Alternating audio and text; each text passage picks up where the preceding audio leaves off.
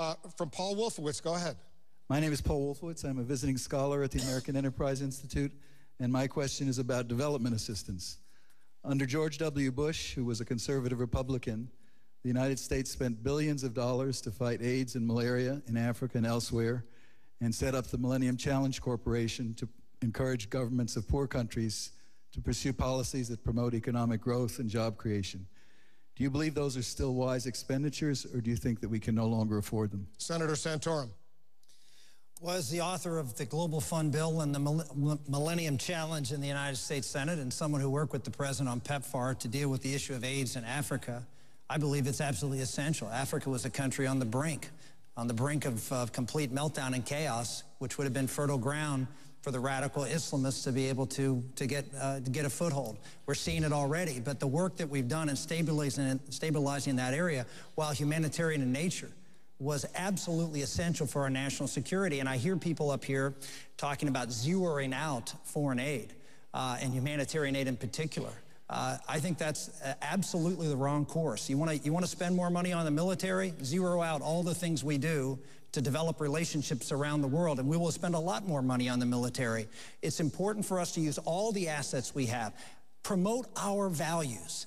America is that shining city on the hill. It is the, it is the city that comes to the aid of those in trouble in, America, in, in, the world. We have done more good for America in Africa right. and in the third world by the things that we've done. And we have saved money and saved military deployments by wisely spending that money, not on our enemies, but on folks who can and will be our friends.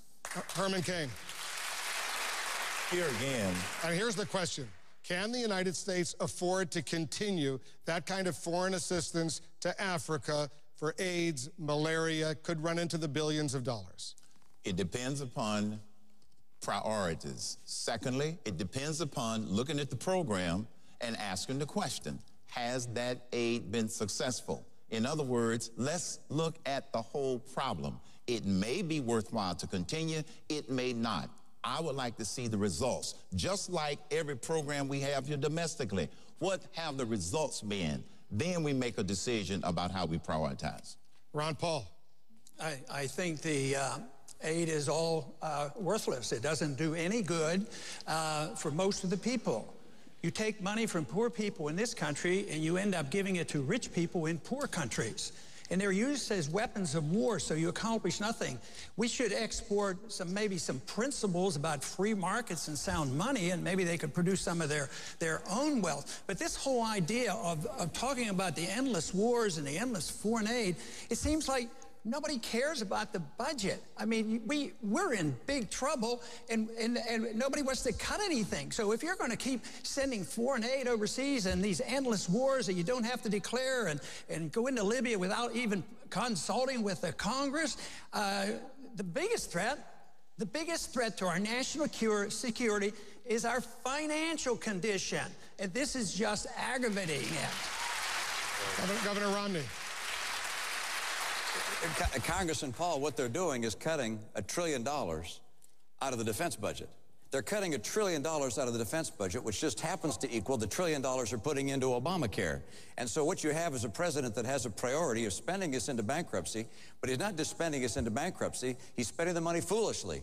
We need to protect America and protect our troops and our military and stop the idea of Obamacare. Right. That's the best way to save money, not the military. Right. But, but hold on one second, because Ron Paul wants to respond to that point. Well, they're not cutting anything out of anything. All this talk is just talk. Believe me. They're cutting, they're nibbling, they're nibbling away at baseline budgeting. It's automatic increases. There's nothing cut against the military, and the people on the Hill are nearly hysterical because they're not going, the budget isn't going up as rapidly as they wanted to. It's a road to disaster. We better wake up. Oh, okay. Let, us uh, just, let's just talk.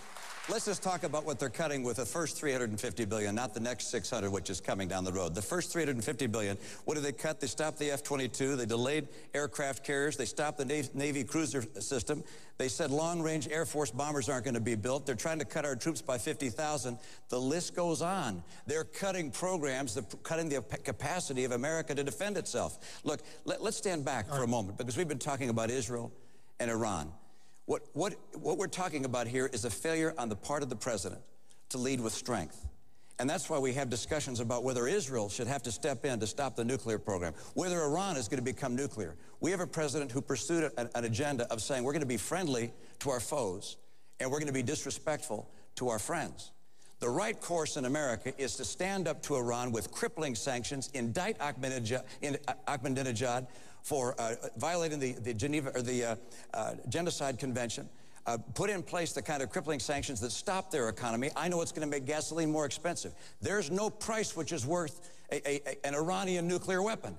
And the right course for Israel is to show that we care about Israel, that they are our friend, we'll stick with them.